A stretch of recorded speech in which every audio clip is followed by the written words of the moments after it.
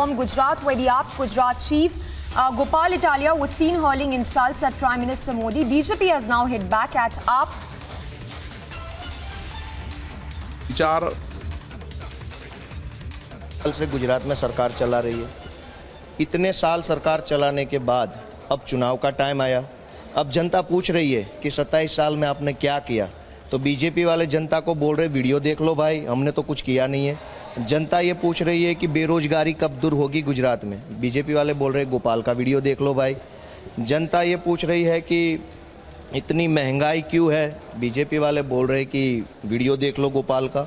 यही बच गया है मुद्दा।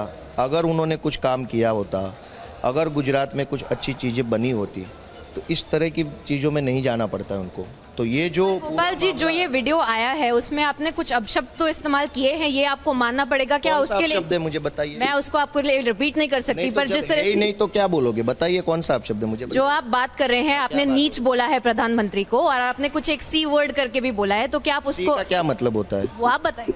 सी का मतलब है क्लीन जिस तरीके से क्या वो क्लीन आदमी आप ऐसा बोल रहे हैं? सुनिए ना माइक इधर रखिए तब मैं बताऊँगा।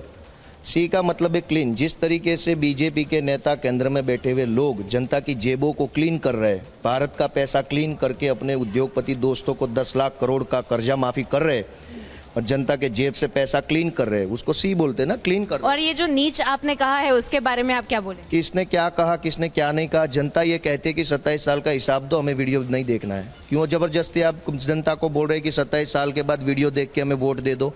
आप अपना काम गिनवाइए सत्ताईस साल में क्या किया कितने रोज़गार दिए कितने स्कूल बनवाए कितने अस्पताल बनवाए कितनी सड़कें अच्छी करी आप बताइए अपना काम।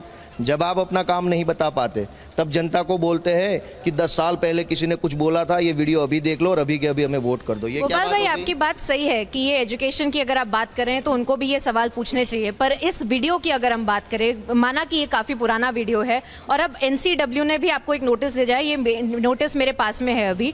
थर्टीन अक्टूबर को साढ़े बारह बजे एनसीडब्ल्यू ने आपको समन्स भेजा है कि आपको अपना क्लैरिफिकेशन देना पड़ेगा।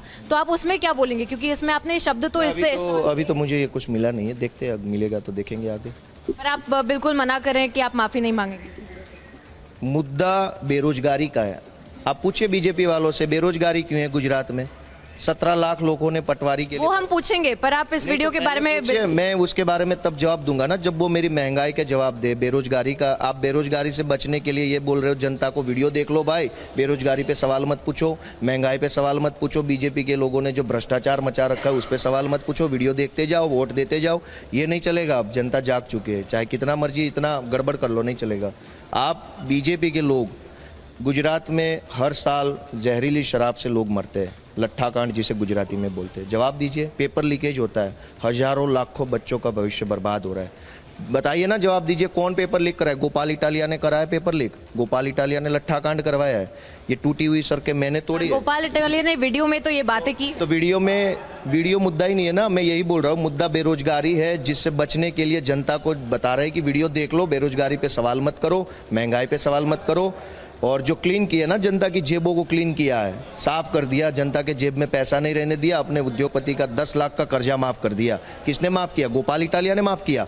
जब आप बता नहीं पाते कि जनता को देने के लिए आपके पास पैसा नहीं है, और आप जब कर्जा माफ़ी आती है तो कर देते हो, ये जवाब नहीं है, इसलिए जनता को बोलते हो, आप देख लो video.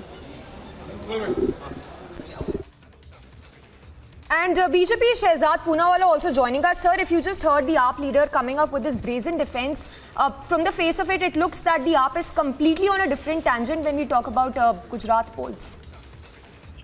You know, this is called Chori or Sina Zori. The one who has committed such a horrible act is now coming out and brazening it out because he has lessons of Kejriwal. Look, the word used by Gopal Italia, the leech word, is a not only an abuse of Prime Minister and constitutional position, it's an abuse to the OBC Samaj, and also the words used in that entire statement are very misogynistic against the women.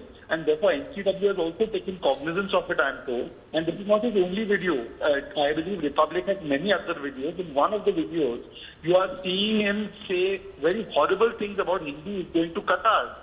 Are all these videos fake? If they were fake, what action did he take on them till now? Because these are old videos. Why didn't he go file a police complaint or a defamation suit?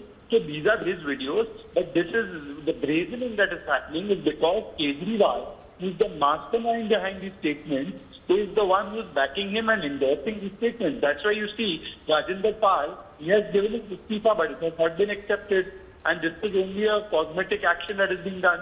Similarly, Gopal Italia too, the words he's speaking are Kejriwal's words. If they are not, Kejriwal would have sacked both of them. But Kejriwal has neither sacked Rajinder Pal nor All will right. he sack Gopal Italia because this is Kejriwal's bag. All right, uh, Shehzad Poonawalla, thank you for giving us uh, your reaction. Let's uh, straight away cut across uh, to Yogi addressing an event.